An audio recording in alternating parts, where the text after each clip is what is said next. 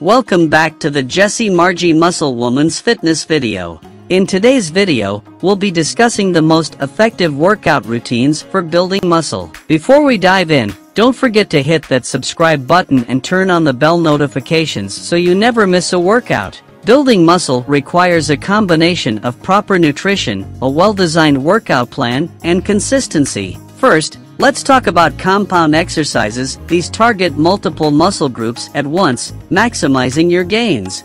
Deadlifts, squats, and bench presses are great examples of compound exercises that should be included in your routine.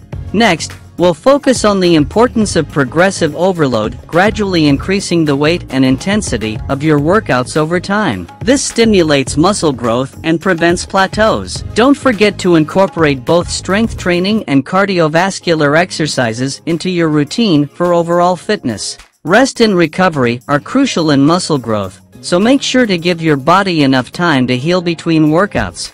Proper form is key always prioritize technique over weight to prevent injuries and get the most out of your exercises.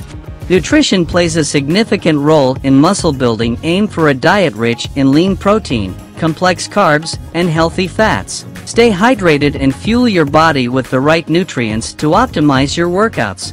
Tracking progress is essential take measurements, photos, and keep a workout log to monitor your gains and stay motivated. Lastly, remember that building muscle takes time and consistency stay dedicated, stay focused, and you'll achieve your fitness goals. Thanks.